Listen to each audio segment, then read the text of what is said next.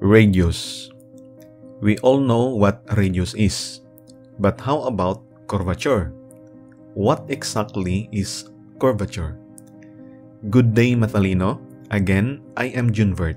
In this video, we will not only understand what curvature is, but we will also derive the formula for curvature at particular point on the curve in rectangular plane. If you are new to this channel, consider subscribing.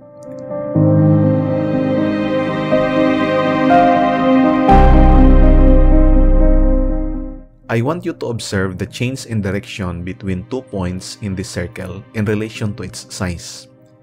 Consider this arc of the circle connecting P1 and P2. And let us retrieve the length of this arc by transforming it into a vertical line. As indicated by these two horizontal lines, observe that the length do not change as we grow the circle. Wrapping up this length to this larger circle, you can see that the change in direction from P1 to P3 is not as much compared to change in direction from P1 and P2. Unwrap the arc one more time and let us shrink the circle. Wrap it again to the circle and see how much change in direction it made from P1 and P4. What I mean about change in direction is this one. Let us have the three circles at a time and let us recolor the tree for better visuals. These are the positions of P1. This is the P2. This is the P3. And this is the P4.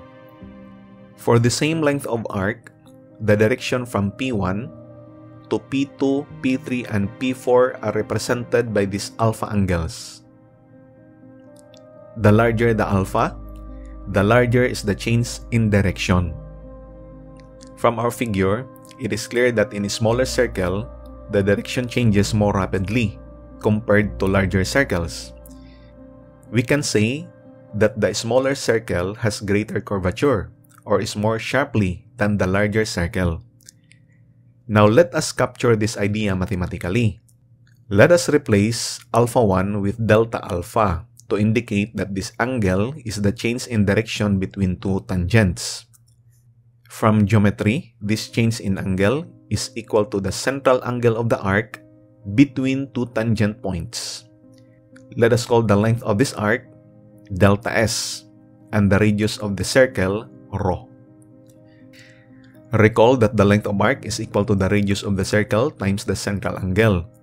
So we have delta s is equal to rho times delta alpha. Cross multiply rho to the left and delta s to the right. Our equation will become 1 over rho is equal to delta alpha over delta s. This quotient, delta alpha over delta s, is the change in direction of the curve per unit of arc. And we call it the curvature of the circle and we denote it with Greek letter kappa. From these two lines here, it is clear that kappa is the reciprocal of rho. It is important to remember this relationship, so go ahead and note it into a paper. In the case of a circle, the quotient delta alpha over delta s is constant, which means that the change in direction per unit length, say per meter, is also constant.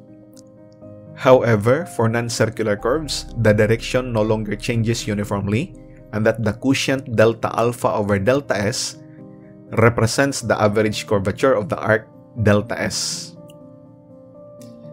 But as P2 approaches P1 along the curve so that delta s and delta alpha approaches 0, the ratio delta s over delta alpha approaches a limit. And this limit is equal to d alpha over ds, which is the curvature of the curve at point 1. Let us do a recap. We have these two formulas here for curvature kappa. One is that kappa is equal to d alpha over ds, and the second one is that kappa is the reciprocal of the radius of curvature, rho.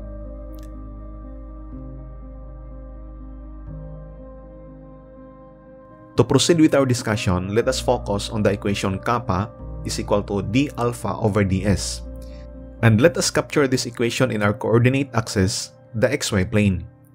From analytic geometry, the slope m of the line is equal to the tangent of inclination alpha. And in calculus, we call that dy over dx and we denote it with y prime. Therefore, alpha is equal to the arctangent of y prime. And let us differentiate both sides of this equation. Recall the formula for the derivative of arctangent of u. That is equal to du all over 1 plus u squared. Therefore, d alpha is equal to dy prime over the quantity 1 plus y prime squared. The derivative of y prime is equal to y double prime dx. With this information, we can proceed now to the formula of curvature in xy plane. Earlier, we learned that kappa is equal to d alpha over ds, and note that ds is the differential length of arc. Also recall that in rectangular plane, the ds is defined by this equation. Square root of the quantity 1 plus y prime squared dx. Substitute d alpha and ds to our equation of kappa and we get this equation. We can cancel dx. Observe that this quantity and this quantity are the same. This one is of power 1, but this one is of power 1 half. If you combine the two, the total power will become 1 plus 1 half or 3 halves. And this is our formula for the curvature kappa in xy plane. Kappa is equal to y double prime all over the quantity 1 plus y prime squared quantity raised to 3 halves. And of course, the reciprocal of this one is the radius of curvature. Rho is equal to 1 plus y prime squared quantity raised to 3 halves all over the absolute value of y double prime we take the absolute value of y double prime because radius is a quantity for length which cannot be a negative value. Thank you for watching. I hope you learned something. Have a good day. See you in our next video.